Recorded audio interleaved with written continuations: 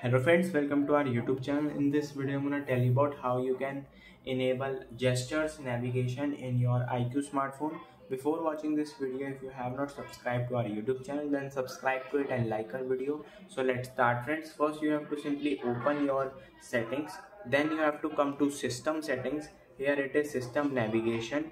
You have to click on gestures and you can see friends it is turned on. How you can go back. If you want to go back then you have to swipe right side like this. And if you want to go to home screen then you have to swipe up.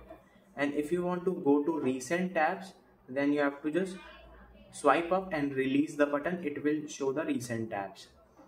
And if you want to go to the buttons three buttons navigation just click on this.